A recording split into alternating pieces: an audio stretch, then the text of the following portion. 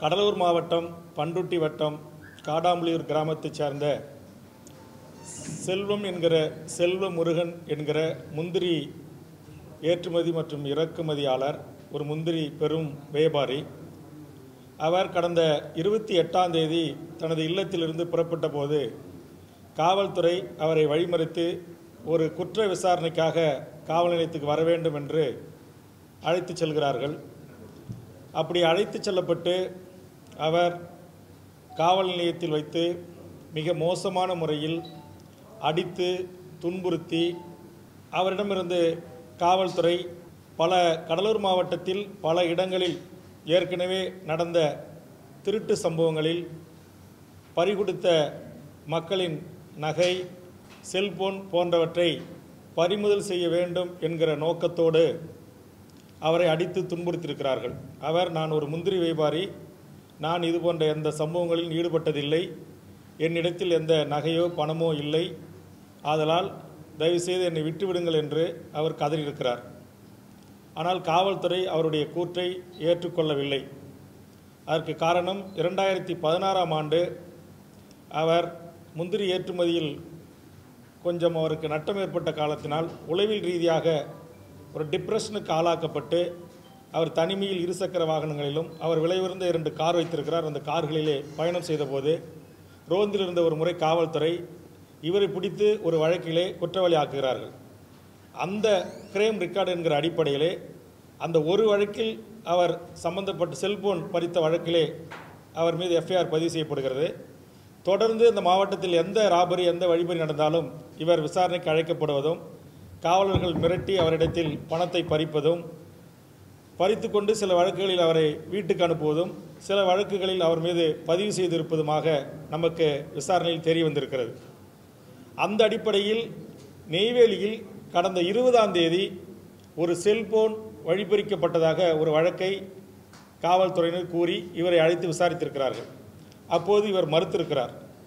ஆக இதை ஒட்டிதான் காவல்துறை விசாரணைக்கு இவர் உட்படுத்தப்படுகிறார். அப்படி விசாரணைக்கு உட்படுத்தப்படுகின்ற போது அந்த நெய்வேலி நகர காவல் ஆய்வாளர் திரு ஆறுமுகம் என்பவர் மிக மோசமான முறையில் அவரை படுக்க வைத்து வாயில் லெட்டி லட்டி காவல்துறையுடைய தடியை சொருகி உண்மையை சொல் என்று மிரட்டியிருக்கிறார். அவர் உடம்பு முழுவதும் லட்டியால் அடிக்கப்பட்டு அப்படியே ரத்தம் கட்டப்பட்ட காட்சிகள் இருக்கிறது. அவருடைய பின்பக்கம் தொடை பின்பக்கம் முழுவதுமாக கடுமையாக தாக்குதலுக்கு உள்ளாக்கப்பட்டிருக்கிறது.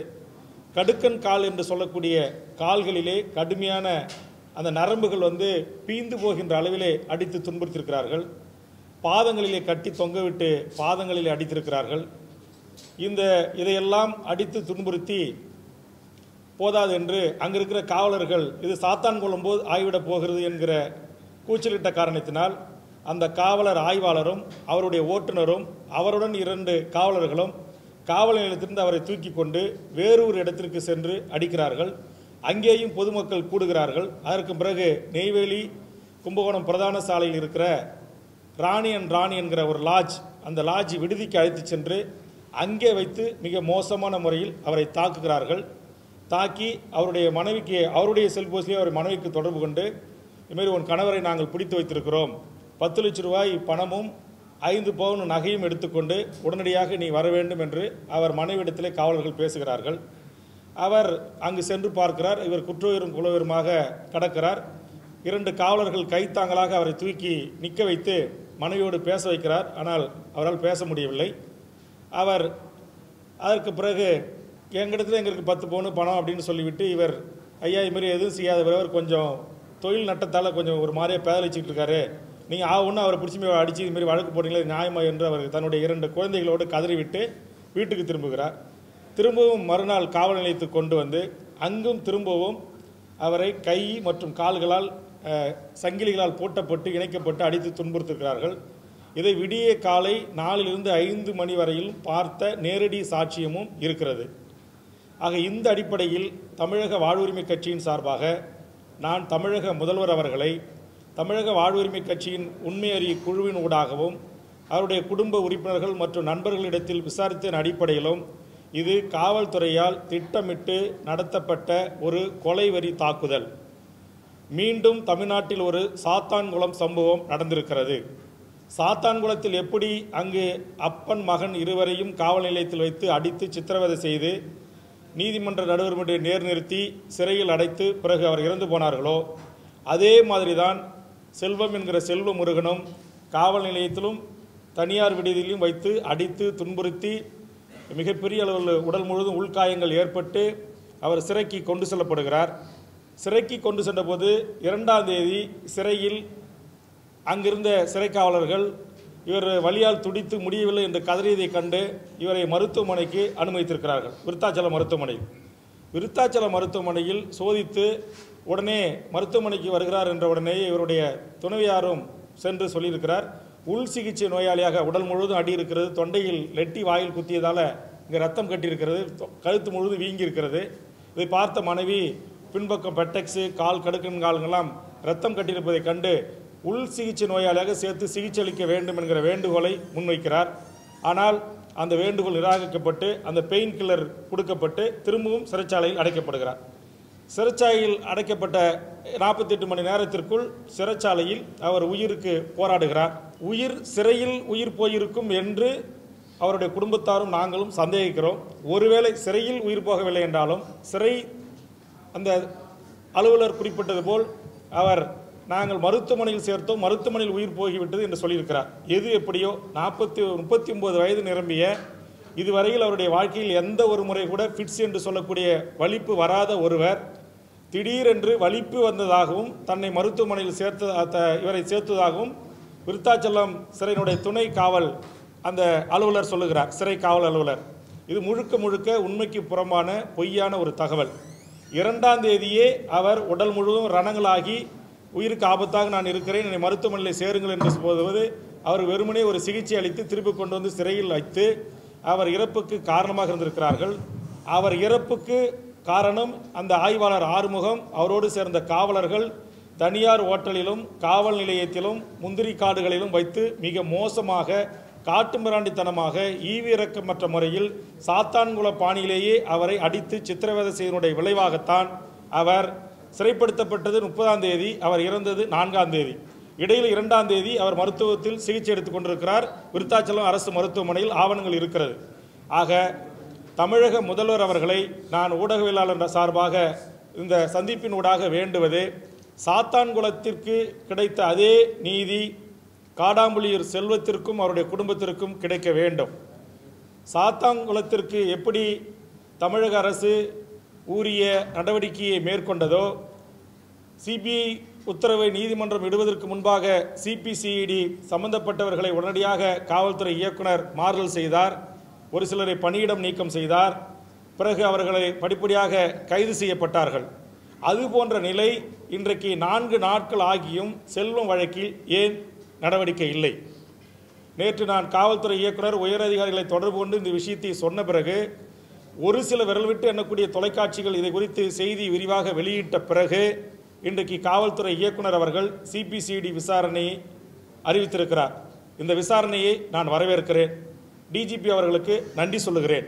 ஆனால் இன்னமும் இந்த வழக்குக்கான ஐஓ என்று சொல்லக்கூடிய ஆய்வாளராக இந்த செல்வத்தை அடித்து காவல் நிலையத்திலும் தனியார் விடுதலை வைத்து கொலை செய்த அவர் கா சாவுக்கு காரணமாக இருந்தவரை இன்னும் அங்கே இன்ஸ்பெக்டராக தொடர்கிறார். அப்போது எப்படி நீதி கிடைக்கும்?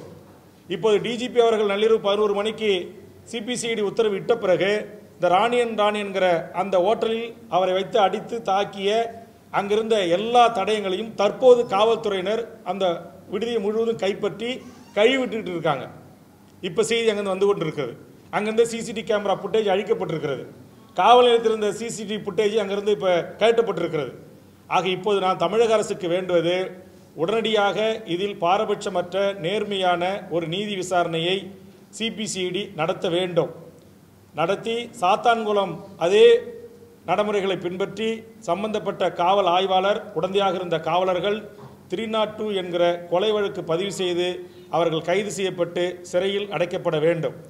உயிரிழந்த செல்வத்தின் குடும்பத்திற்கு தமிழக அரசு உடனடியாக ஒரு கோடி ரூபாய் நிதி அறிவிக்க வேண்டும். இளம் மனைவியான அவருடைய மனைவிக்கு தமிழக அரசு உடனடியாக ஒரு வேலைவாய்ப்புக்கான உத்தரவு வழங்க வேண்டும். அவரை இழந்து குடும்பத் தலைவனை இழந்து பரிதவிக்கும் இரண்டு பச்சை குழந்தைகள் பத்து வயதுக்குட்பட்ட இரண்டு குழந்தைகளுடைய எதிர்காலத்தை கருத்தில் கொண்டு மாண்புகு தமிழக முதலமைச்சர் அவர்கள் தன்னுடைய மௌனத்தை கலைக்க வேண்டும். நான் தமிழக அரசை பார்த்து கேட்கிறேன் தமிழக முதலமைச்சர் அவர்களை பார்த்து கேட்கிறேன். தமிழ்நாட்டுடைய பிரதான அரசியல் கட்சியினுடைய எதிர்க்கட்சி தலைவர்கள் அனைவரும் இதற்கு நீதி வேண்டும் என்று சம்பந்தப்பட்ட காவலர் மீது நடவடிக்கை எடுக்க வேண்டும் என்று இது கொலை வழக்காக மாற்ற வேண்டும் என்று அறிக்கை தந்தோம். இதுவரையிலும் அதிமுகவின் தரப்பில் கட்சியின் தரப்பிலிருந்தோ எந்த ஒரு அறிக்கையும் வரவில்லை. முதலமைச்சர் உள்துறை பொறுப்பு வகிக்கிற முதலமைச்சர் அவர்களும் இதுவரையிலும் வாய் திறக்கவில்லை. அப்போது முதலமைச்சர் ஏன் பண்ருட்டி பகுதியைச் சேர்ந்த காடாம்புலியூர் செல்வத்துக்கு ஒரு நீதியும் தூத்துக்குடி மாவட்டத்தைச் சேர்ந்த தகப்பன் மகன் இறப்பதற்கு ஒரு நீதி என்கிற நிலை கடைபிடிக்கிறாரா? இல்லை இதில் என்ன உள்நோக்கம்? இறந்தவர் வன்னியர் என்பதற்காக மாண்புமிகு தமிழக முதலமைச்சர் அவர்கள் புறக்கணிக்கிறாரா? எனக்கு பத்திரிகை ஊடக நண்பர்களிடத்திலே ஒரு வருத்தம் இருக்கிறது. இரண்டு எனக்கு தெரிஞ்சு இரண்டு தொலைக்காட்சிகள் தான் இதை மிகப்பெரிய அளவில் ஓரளவுக்கு செய்தியாக கொண்டு சென்றிருக்கிறார்கள். சாத்தான்குளத்தில் நடந்த சம்பவத்தை இருபத்தி நாலு மணி நேரமும் பிரேக்கிங் நியூஸ் போட்டு இந்திய அளவிலும் உலக அளவிலும் திரும்பி பார்க்க செய்த தமிழ்நாட்டுடைய ஊடகங்கள் பத்திரிகைகள் ஏன் இந்த படுகொலையில் அப்படி ஒரு முக்கியத்துவத்தை தரவில்லை என்கிற கேள்வியும் நான் எழுப்புகிறேன். அல்லது ஒரு சில ஊடக முதலாளிகள் இதிலையும் சாதி பார்க்கிறார்களா? தமிழக முதலமைச்சர் பார்ப்பது போல் ஊடகங்களும் பத்திரிகைகளும் இதில் சாதி பார்க்கிறதா? இந்த செய்தி இன்றைக்கு தமிழ்நாட்டுடைய எந்த பிரதான பத்திரிகைகளும் தலைப்புச் செய்திகளாக இடம்பெறவில்லை. ஆக இது மிக ஒரு மோசமான ஒரு மனித உரிமை மீறிய ஒரு செயலை செய்திருக்கிற காவல்துறை நீர் மீது தமிழக அரசும் முதலமைச்சரும் இதுவரையிலும் நடவடிக்கை எடுக்காததும் ஏன் இந்த கள்ள மௌனம் என்பதை நான் கேள்வி எழுப்புகிறேன். இதற்காக தமிழக வாழ்வுரிமை கட்சியின் சார்பாக சென்னை உயர்நீதிமன்றத்தில் வழக்கு தொடுத்திருக்கிறோம். வழக்கு திங்கள் அல்லது செவ்வாய் விசாரணைக்கு வரும். மதுரை நீதிமன்றம் எப்படி தூத்துக்குடி சம்பவத்திற்கு சாத்தான்குளம் சம்பவத்திற்கு நீதி வழங்கியதோ அதுபோன்று பண்ருட்டி நெய்வேலி சம்பவத்திற்கும் நீதி வழங்கும் என்று நாங்கள் எதிர்பார்த்து நீதிமன்றத்தின் கதவை தட்டியிருக்கிறோம். தமிழ்நாட்டில் இருக்கிற பிரதான இன்னும் பல அரசியல் கட்சி தலைவர்கள் இதில் தலையிட வேண்டும். மனித உரிமை செயல்பாட்டாளர்கள் பத்திரிகை நண்பர்கள் ஊடக நண்பர்கள் இதில் தனி கவனம் செலுத்தி இந்த அநியாய அக்கிரம தொடர் இந்த கஸ்டோடியல் டெத் என்று சொல்லக்கூடிய காவல் நீதி மரண கொலைகளுக்கு முடிவு எட்டப்பட வேண்டும் என்று நான் வேண்டுகோள் வைக்கிறேன். தமிழக அரசும் முதலமைச்சரும் காவல்துறை டிஜிபி அவர்களும் உடனடியாக அந்த காவலர் மீது அந்த காவல் ஆய்வாளர்கள் மீது திருநாட்டு கொலை வழக்கு பதிவு செய்து அவர்கள் உடனடியாக கைது செய்யப்பட வேண்டும் என்ற வேண்டுகோளை நான் முன்வைக்கிறேன். இவர்கள் இன்னொரு செய்தி சொல்கிறாங்க அவர் திருட்டு வழக்கில் ஈடுபட்டார் என்று. திருடு போன சம்பவம் இருபதாம் தேதி. திருடு போனதாக சொல்லப்படுகின்றவர்கள் புகார் தரவில்லை. இரண்டாவது இரண்டு காவலர்கள் தரத்தி நாங்கள் இவரை பிடித்தோம். கத்தியை காட்டி மிரட்டினார் என்று எஃப்ஐஆரில் ஜோடித்திருக்கிறார்கள். அப்படி ஒரு சம்பவம் நடைபெறவே இல்லை. திருடு போன அந்த பண் பறிகொடுத்தவர் இருபதாம் தேதி என்று சொல்லுகிறார். வழக்கு பதிவு செய்திருப்பது முப்பதாம் தேதி. இவரை கைது செய்தது இருபத்தி எட்டாம் தேதி. ஆக இதில் எது உண்மை? அதனால் சிபிசிஐடி டிஜிபி அவர்களும் சிபிசியினுடைய இன்வெஸ்டிகேஷன் eh, அதிகாரிகள் அவர்களும் இந்த கூற்றின் அடிப்படையில் உண்மையிலேயே என்றைக்கு திருடு நடந்தது உண்மையிலேயே இவர் என்றைக்கு கைது செய்யப்பட்டார் இவர் என்றைக்கு நே- நீதிமன்றத்தில் நேர் நிறுத்தி ஆஜர்படுத்தப்பட்டார் என்கிற முழு விவரங்களையும் பின்னணிகளையும் ஆராய்ந்து ஊரிய விசாரணையை மேற்கொண்டு இந்த படுபாதகமான செயலை மனிதநேயமற்ற ஈவு இறக்கமற்ற செயலை செய்த காவல் ஆய்வாளர் உள்ளிட்டவர்கள் சட்டத்தின் முன் நிறுத்தி தண்டிக்கப்பட வேண்டும் என்கிற கோரிக்கையை நான் முன்வைக்கிறேன். ஒருவேளை இவர் அப்படி செல்போனை திருடியிருந்தாலும் கூட அவருடைய திருட்டுக்கு தமிழக வாழ்வுரிமை கட்சியோ வேல்முருகனோ வக்காலத்து வாங்கவில்லை. அவர் உண்மையிலேயே குற்றவாளி என்று சொன்னால் அதற்கான ஆதாரங்கள் உங்களுக்கு கிடைத்தால் அந்த பிரிவுகளில் வழக்கு பதிவு செய்து அவரை சிறைப்படுத்துங்கள். அது குறித்து எங்களுக்கு எந்தவித எதிர்ப்பும் இல்லை எந்தவித கேள்வியும் இல்லை.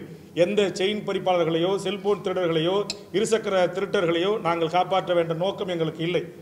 இது ஒரு மனித உரிமை அடிப்படையில் இது ஒரு கேள்விக்குள்ளாக்கப்படாமல் ஒரு குடும்பத்தைச் சேர்ந்த இரண்டு பிள்ளைகளும் மனைவி மட்டுமே வீதியில் இறங்கி கதறி கொண்டிருந்ததை பார்த்துவிட்டு நானும் ஒரு கட்டத்திற்கு பிறகு அவர்கள் குடும்பத்தோடு வந்து என்னை என்னை எந்த அலுவலகத்தில் சந்தித்து என் இல்லத்தில் சந்தித்து இப்படி அநியாயமாக நடந்திருக்கிறது என்று நீதிமன்ற one seventy six one A என்கிற பிரிவின் கீழ் நடுவர் நீதிபதி விசாரணைக்கு உட்படுத்தப்பட்டு அவர் விருத்தாச்சலத்தில் இருந்த உடற்கூறு ஆய்வுக்கு இருந்த உடலை சென்று பார்த்து இவருடைய மனைவி இவருடைய தங்கைகள் இறந்தவருடைய மனைவி மற்றும் தங்கைகளிடத்தில் அவர் அந்த உடலை பரிசோதனை செய்தபோது கழுத்து முழுவதும் வீங்கி ரத்தம் கட்டியிருந்ததை மா நீதிபதி அவர்கள் உறுதி செய்ததாக இறந்தவருடைய மனைவி சொல்கிறார். அதே போன்று பின்பக்கங்கள் பெட்டெக்ஸு கீழே கணுக்கன் கால் பாதம் இந்த இடங்கள் அனைத்தும் முழுக்க ரத்தம் கட்டியிருந்து அடித்து அந்த வடுக்கள் இருக்கிறது. நீண்ட லெட்டினுடைய அடிகள் வார் வாராக முதுவிலே உரித்திருக்கிறது என்பதை எல்லாம் நீதியரசர் அவர்கள் தன்னுடைய நேரடி கள ஆய்விலே கண்டுபிடித்து அதை ஒரு வீடியோ எடுக்க வைத்து அதை ஒன் ஒன் ஒன்று ரெண்டு என்று பாயிண்ட் அவுட் பண்ணி அதை படித்து காட்டி இறந்தவருடைய மனைவியிடத்திலும் இறந்தவருடைய ஐந்து தங்கை அக்கா தங்கைகள் இடத்திலும் கையொப்பம் பெற்றிருக்கிறார். இப்போ நான் கோருவது குற்றவியல் நடுவர் நீதிபதி அவர்கள் கள ஆய்வில் நேரடி ஆய்வில் அவர் அடித்துதான் கொலை செய்திருக்கிறார். காவலர்கள் வைத்து சட்டத்திற்கு புறம்பாக அடித்தனுடைய விளைவாகத்தான் இந்த காயங்கள் ஏற்பட்டிருக்கிறது என்பதை தன்னுடைய நேரடி ஆய்வில் இறந்து போன செல்வத்தினுடைய மனைவி பிரேமா அவர்களுக்கு தெரிவித்திருக்கிறார். அவர் தெரிவித்து அதை சாட்சியங்களாக பதிவு செய்திருக்கிறார். இந்த ஆவணங்களின் அடிப்படையில் தமிழக முதல்வர் உடனடியாக இதை திருநாட்டு வழக்காக மாற்றி உடனடியாக அந்த ஆய்வாளரையும் காவலர்களையும் கைது செய்ய வேண்டும் என்பதுதான் என்னுடைய வேண்டுகோள். இந்த செய்தியோட கூட இன்னொன்று இந்த பேரறிவாளன் உள்ளிட்ட ஏழுவர் விடுதலை அந்த ஏழ்வர் விடுதலையை தமிழக அரசு உடனடியாக நிறைவேற்ற வேண்டும் என்பது தமிழக வாழ்வுரிமை கட்சியின் ஒரு கோரிக்கை. ஒருவேளை ஏழ்வரை விடுதலை செய்வதில் தமிழக முதலமைச்சருக்கு காலதாமதம் ஆகும் கவர்னரிடம் அனுமதி வர அப்படி என்று சொன்னால் உச்சநீதிமன்றத்தில் இந்த வழக்கை விசாரித்த கேட்டி தாமஸ் அவர்களும் இந்த வழக்கை விசாரித்த சிபிஐனுடைய அதிகாரி அவர்களும் பேரறிவாளன் குற்றமற்றவர் அவர் செய்யாத ஒரு குற்றத்தை அவர் செய்ததாக நான் வழக்கில் பதிவு செய்து விட்டேன் என்று கேரளத்தைச் சேர்ந்த சிபிஐனுடைய ஐஜி அவர்கள் உச்சநீதிமன்றத்தில் வாக்குமூலம் பதிவு செய்திருக்கிறார். கே டி தாமஸ் அவர்களும் பேரறிவாளன் குற்றமற்றவர் என்பதை கருத்தை வலியுறுத்தியிருக்கிறார். இந்த அடிப்படையில் இந்த வழக்குக்கு முன் கதவு திறப்பது என்பது போல உடனடியாக தமிழக அரசு பேரறிவாளனை தனக்குரிய அதிகாரத்தை பயன்படுத்தி உடனடியாக விடுதலை செய்ய வேண்டும் என்று தமிழக வாழ்வுரிமை கட்சி தமிழக அரசு தனது கோரிக்கை முன்வைக்கிறது. அதுக்கு காரணம் பேரறிவாளனுடைய தந்தை இடுப்பு முறிந்து மிக மோசமான முறையில் சிகிச்சை பெற்று வருகிறார். பேரறிவாளனும் உடல்நிலை பாதிக்கப்பட்டு தொடர்ந்து அவர் சிகிச்சை பெற்று வருகிறார். குறைந்தபட்சம் தமிழக அரசு பேரறிவாளனை உச்சநீதிமன்ற நீதிபதிகளும் அதை விசாரித்த சிபிஐனுடைய அதிகாரியும் அவருக்கும் இதுக்கும் சம்பந்தமில்லை. அவர் குற்றமற்றவர் என்று சொன்ன காரணத்தினால் இப்போது தமிழக அரசு ஏன் கவர்னர் அவர்கள் இதை இத்தனை நாட்கள் கிடப்பில் வைத்திருக்கிறார்? ஏன் இதற்கு ஒரு முடிவு எட்டப்படவில்லை? தமிழக அரசு ஏன் அதை திரும்ப நீங்கள் ஃபாலோ செய்யவில்லை என்று இடித்துரைத்திருக்கிறது. ஆதலால் தயவு செய்து இந்த வாய்ப்பை பயன்படுத்தி தமிழக முதலமைச்சர் இந்த ஏழுவரையும் விடுதலை செய்ய முன்வர வேண்டும். அதில் முன் விடுதலையாக முதல் விடுதலையாக தன் தந்தை உயிருக்கு போராடி கொண்டிருக்கிறாரே. அவரை காப்பாற்றுகிற முகமாக மகன் இருந்து அந்த கடமையை செய்வதற்கு ஏதுவாக பேரறிவாளனை விடுதலை செய் உடனடியாக விடுதலை செய்ய வேண்டும் என்று தமிழக வாழ்வுரிமை கட்சி தமிழக அரசுக்கும் தமிழக முதலமைச்சருக்கும் தனது வேண்டுகோளை முன்வைக்கிறது. தமிழக அமைச்சரவையால் எடுக்கப்பட்ட தீர்மானத்தை காலதாமதம் படுத்தி தொடர்ந்து வஞ்சித்து வருகின்ற தமிழக ஆளுநருடைய நடவடிக்கையை தமிழக வாழ்வுரிமை கட்சி மிக வன்மையாக கண்டிக்கிறது.